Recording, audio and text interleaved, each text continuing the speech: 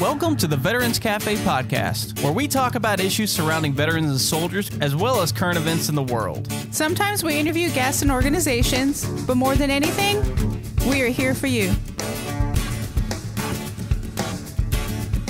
Welcome to another episode of the Veterans Cafe podcast. I'm Wes. I'm Tracy. And first off, let us go ahead and apologize.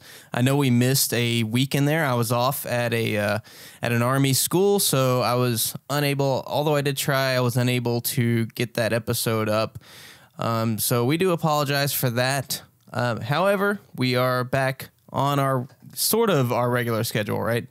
So today we're actually recording on Wednesday late in the afternoon because it is our hope that far down in the future, we're talking a couple months away, we want to try and start doing at least once a month a sort of live broadcast thing, maybe over like Google Hangouts. We're trying to work all this out so that we can actually start getting you guys involved because, you know, we talk a lot about you you messaging us, you getting involved with us in whatever way that you can. So, you know, we kind of figure if we can do it live and you guys can actually call in, chat with us, something like that, then that'll probably be a really good way for us to make that happen at least once a month. We don't plan on doing it every show, every episode, but it is something we want to start doing occasionally. Well, yeah, Wednesday has been working out for us. Uh, with the exception of last week, um, we've been able to upload um, like every Wednesday for this year. So it's been awesome. Um, so what we're thinking of is probably staying with Wednesdays, right? We might even play around a little bit with like the live feature on Facebook, you know, just to see, like, I don't know, maybe if you just want to check out Wes like editing or something. I don't know. I'm thinking of something. It might be kind of fun, but that will just play into hopefully you'll be able to call us um, you know, we'll let you know in advance, right, when this is going to happen. So that way you can uh, literally join the conversation because that's what we're hoping to be able to do one day. We're also hoping to, to be at a point where we're more interactive on the Facebook page. So, um, anyway, so we, we have uh, some things in mind. Yeah, we definitely have some things in the work, and that's why at, that's actually why you're getting this episode a little bit later than you normally would. You know, we always say at the end of the show that you can wake up on Wednesday and you have your episode, and of course here we are at six thirty in the afternoon on Wednesday, and we're recording the episode. But again, it's because this is when we plan on doing this live thing when we do decide to do it down the road. So that's kind of what we're going to start sticking to. We're still going to release the episodes on Wednesday. They're going to be late in the afternoon. So if you don't get it in the afternoon on Wednesday, you'll have it Thursday morning. So starting going forward. So yeah, and Wednesday's working for us. So uh, you know, hopefully that will work out for you guys too when we get to that point. But um, anyway, I mean, let, let us know what your thoughts are. You know, I mean, it, what you, what you think. Like, if you're interested in reaching out for one, right? And then if you are re- interested in reaching out, you know, uh, is Skype, you know, the way to go? I don't know. I mean, there's just so many different ways that people could do it now. I mean, there's like Snapchat and there's like all sorts of things that I don't know. Maybe our listeners might be more interested in. So. Yeah, I mean, my first my first huge thought was um, something like Google Hangouts, just because people can both be involved like in it live. You know they can be in the in the chat room with us with the video and everything and sort of get involved with the discussion live that way. But i mean we do have skype. We do have different ways and that we can do it so you haven't played with facebook live yet. That's actually pretty fun. I don't think you have yet. I haven't at all. I don't i don't know anything about it. The only reason i know it exists is because we have a, a mutual friend on facebook that that seems yeah. to do it all the time. Yeah. It's and so it's funny cute. because he like he goes, All right, you guys want me to go live? And then there's like this build up and then he goes live and then, you know, and he, he does this thing. So that's the only reason I really know about it. So that's all I, I know about it at the moment. But but that is something we plan on doing and going forward in the future. Um, at some point, a couple months down the road, like we said, we'll come out with a release date. You know, the date we plan on doing it for the first time, and we'll make sure that you guys know. We'll just keep reminding you every week. We'll let you know exactly when we're gonna do it.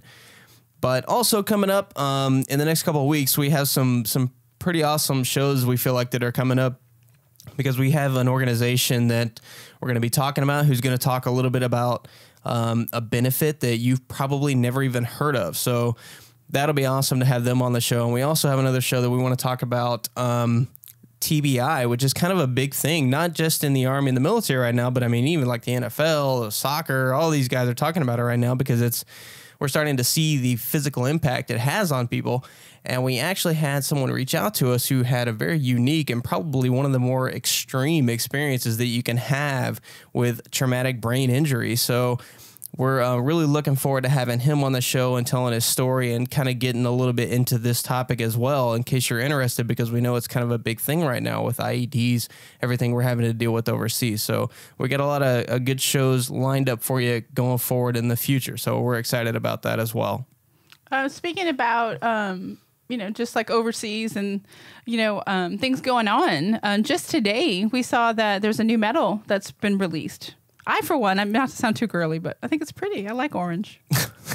Aside from it being aesthetically pleasing, it's pretty significant in my opinion because it it really says that we're back in Iraq. You know, this the I think a lot of people knew that already, though. Yeah, but I mean, this is sort of the official because everything ended, right? It was totally over. We were totally out, and now all of a sudden, in case you haven't read, there is a campaign ribbon again for Iraq and and as well as Syria for those mm-hmm. who have served in Syria, and of course, this also includes the the remote airspaces and uh, waters around those areas. Um, but it's of course the Inherent Resolve campaign medal which. Inherent Resolve is obviously the operation name of what's going on over there right now. But the fact that um, President Obama has now signed in this executive order bringing forward a new campaign medal for it. I mean, that pretty much officially. I mean, I know we're there. I know we've been sending soldiers there. I know things have been ramping up again, but now there's a campaign medal. And of course, if you read it, it says anyone who served in this area on or after June 15, 2014, earns the medal and before a terminal date to be prescribed by the Secretary of Defense. Mm-hmm. So again, you know, this is something yeah. with no end in sight kind of thing. So am I you know, you know, looking at this, we're we're officially there. And from this point, you could probably only expect the numbers to continue to grow as as ISIS is becoming a bigger threat and everything going on over there becomes I don't know, hopefully not worse, but well, I definitely. Uh, I mean, i am like the, like the big nerd who follows like you know all the social media DoD sites, right? Because I'm always looking for imagery, mine and then others, and like you know I have like my military photographers that I'm like obsessed with, and I'm like fangirling over all the time. But I have been reading quite a bit, and all been, of, it's been really bad this week, by the way. my fangirling, yeah. yeah. I almost fainted twice and vomited in the whole bit. It's anyway. been like Bieber fever. but for like military, military photographers, yeah. I know. Anyway, so um, but I have read on all these like you know multiple DoD sites that um, you know troops are you know being mobilized and you know getting ready and blah blah blah. And I'm not sharing any information that's not out there anyway. So um, anyway, it's definitely interesting. I, I, think you know as I say before, I think we're living in an interesting time. Um, I don't know. I mean, you know, I know some soldiers that are, you know, that taking pictures and, you know, in the surrounding areas that we've discussed and the imagery is beautiful. And I know that there's a lot of great training happening. So, we'll just see what lies ahead, right? With this beautiful ribbon that's orange, which I think is so pretty. so aside from the ribbon, though, it's it's kind of interesting to watch what's what's really been going on over there because it's it's a little. I mean, I'm almost confused most of the time trying to keep up with what's happening. Um, with the different leaders that are being killed in the ground, I mean it. It almost reminds me of like World War II, you know, like there's this huge line across the country and we're constantly pushing it back and then it's getting pushed back towards us and it's I don't really know what's happening over there at the moment. And of course, we're probably not going to because most of what's happening is of course happening with, you know, special forces units and all things like that. Squirrels. There you go. secret, secret squirrels. squirrels. So we're not getting obviously all the information that's and it and drones and things. So we're not getting I'm sure half of it, you know, is some classified information that we're not getting. So and we probably shouldn't get it. I don't think we should get I, everything. I'm not saying yeah. that we should. I'm just yeah. saying that we're not seeing the whole picture, so we can't really know what is you know what the situation truly is over there right now. And I think most of the people that are over there are probably sort of in the old green zone, you know, kind of looking at the more strategic picture and not so much the tactical operations that are going on on the ground, you know, unless mm-hmm. they have that kind of clearance. So who knows? I mean, until, until this thing sorts uh, sort of starts to maybe I don't want to say blow up a more, but starts to expand a little more, and we end up ramping up a little more, sending more soldiers, we'll probably start to get a more clearer picture of what's actually happening over there and what kind of ground we're gaining and and anyways i kind of hope to find out soon you know i mean there's like i said if there's a campaign ribbon there's there's got to be soldiers to earn it. So I mean, yeah.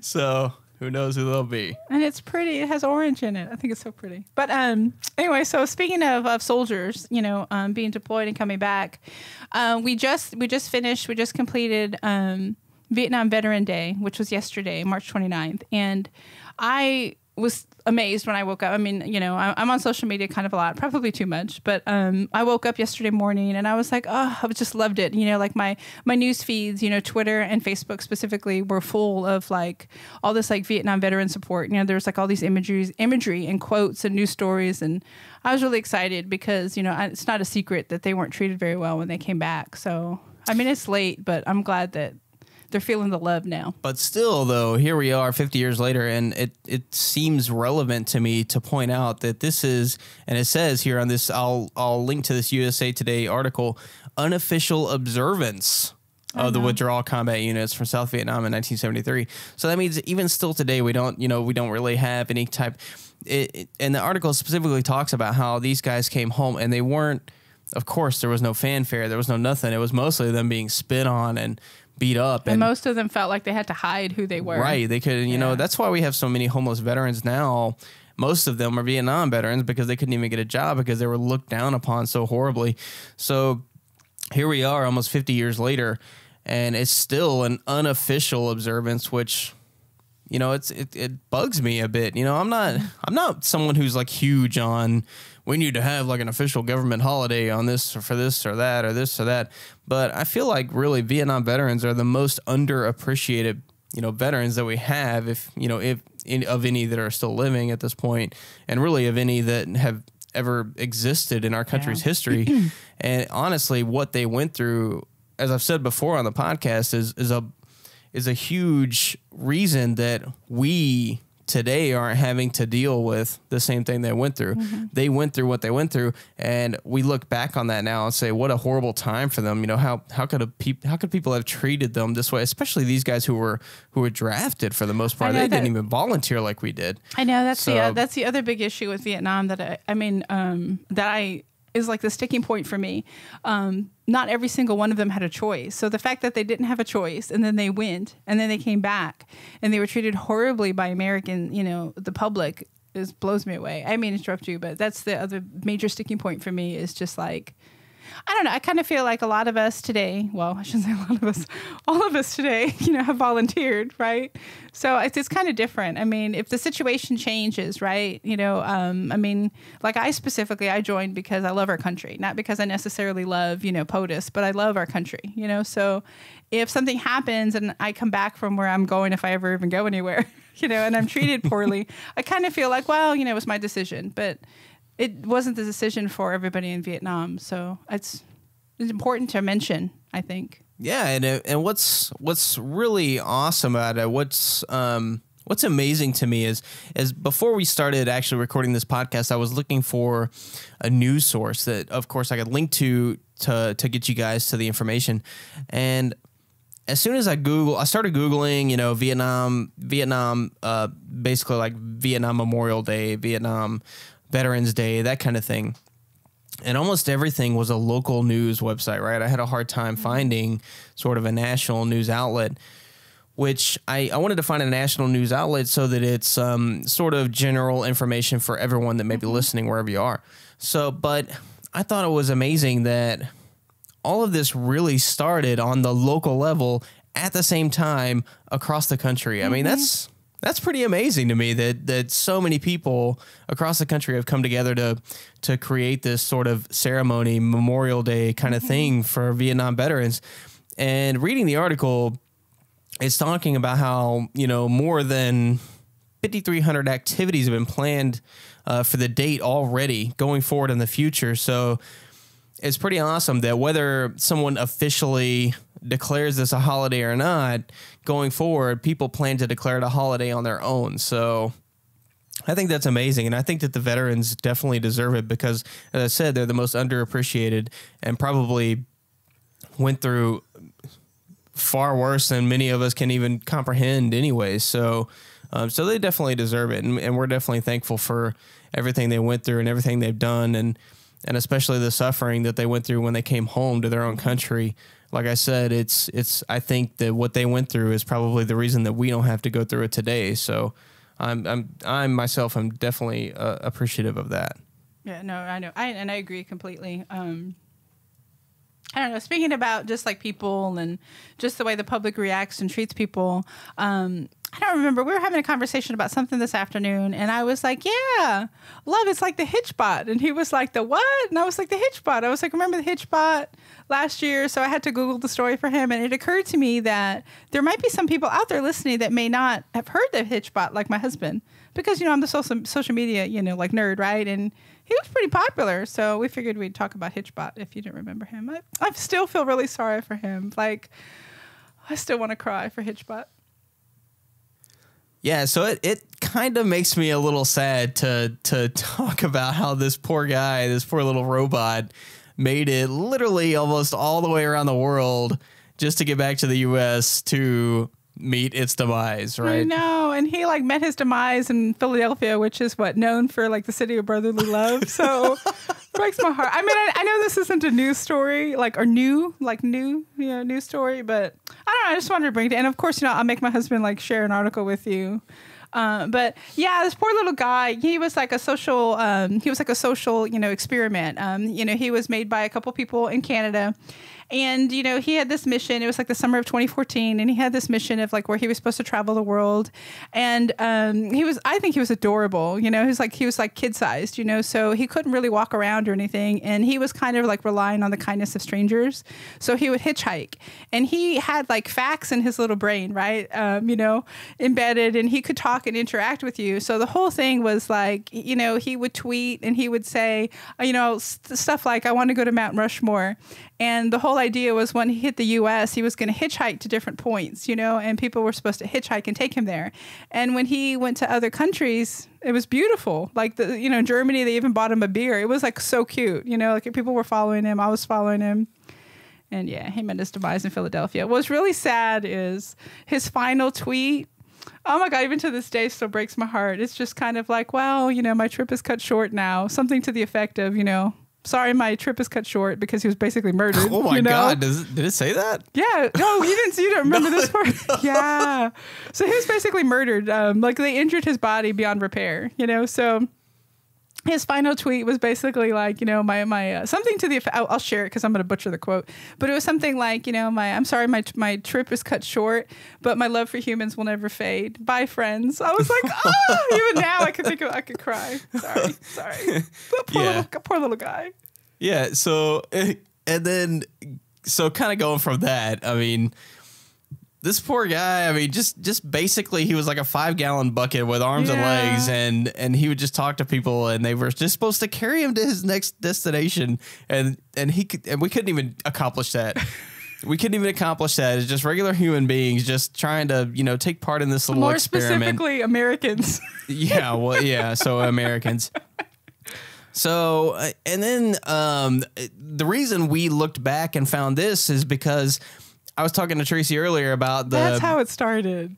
Yeah, I was talking to Tracy earlier about the Microsoft chatbot that that the basically this AI software that Microsoft created and they basically put it on Twitter and what he was doing was essentially learning from people chatting, right? So he was reading all this uh, chatter going on on tweet on Twitter, and he was supposed to be able to start interacting with the Twitter population with all his followers, which he had like 200,000 or something. And so this is only 200,000 followers, right? So it, it only took that small a percentage of the population to literally just fuck him up in the first place. so as soon as he started interacting, it started interacting with the Twitter followers. It started to turn around and put out outrageous and racist tweets and shortly after endorsed Adolf Hitler. Yeah. That's that's what we are teaching artificial intelligence. And now this as far as this goes, we can't really I don't feel like we can blame this on Americans. I mean, it could be anybody, you know, this is Twitter, so it's international and it was just basically um 200,000 shitheads who you know, got him to start thinking this way. So Microsoft immediately pulled him and it was like, "Okay, um, let's let's uh, let's do a little tweaking, start this thing over." And they did. They started it over. And when they released him back onto Twitter, within no time, he was already talking about smoking Kush in front of the police. yeah. An artificial intelligent brain on Twitter started talking, bragging about smoking Kush in front of the police. Yeah. So, man, it's a little depressing knowing that that's you know that's kind of where we're headed. I mean, I know. Well, you know, I've talked about it many times before in the podcast, and of course, you know, my husband, so you know, I'm like obsessed with sci-fi and like horror and everything, but sci-fi specifically, you know, I'm always like. Where's technology going? Because I definitely feel like there's a lot of messages, right, in sci-fi that are t- like not even like so much 1984. I mean, though that's pretty significant still, even in 2016. But I mean, there's like so many stories of like, I don't know, like Gattaca. I mean, there's just so much stuff out there. Like, technology is going to reach a point, right? You know, kind of like what the Terminator, where well, like computers are going to be. It's a serious philosophy, and it's called the singularity. No, no, no. I understand that, but I'm just bringing it up just because you know I'm like a sci-fi fan. So my brain, whenever I hear stories about like poor Hitchbot, you know, or this poor chatbot, I always think about God. We're living in that time, literally right now where like there was that female robot like that I showed you the video the other day. She looked so real and lifelike, and she was creepy, and she looked like she was going to come kill me. Well, and right? She, and she even said something about what was it about killing the human race? I don't know. she was creepy because she had like like crow's feet in her eyes. Like she looked yeah. real and she was creepy. I don't know. It's just interesting to me because I do think that we should, uh, you know, as a as the human race, we should definitely strive to improve ourselves, and you know, we should definitely strive, you know, to travel, you know, further than the moon and things like that. I mean, we should do that. You know, I think we should. You know, there's so many things that we can learn from it.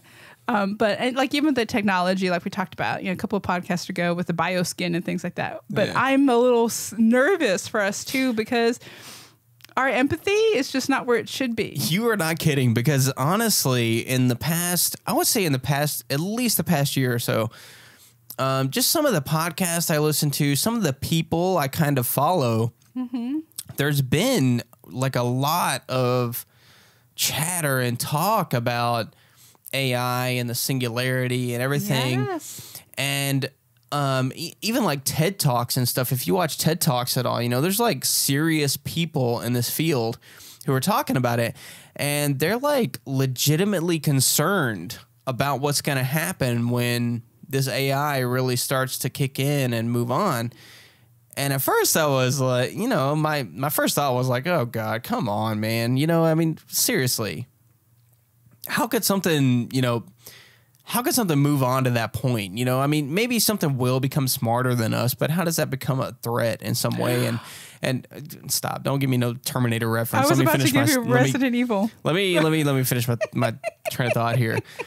But anyways, so I've I you know I when I was first hearing it, mm-hmm. you know, it, and you kind of you kind of have to have that i feel like you have to have that kind of skepticism you know and you when you hear someone talking about something you know of course you hear like all these conspiracy theories and your first thought is like oh come on dude. You're seriously out of your mind.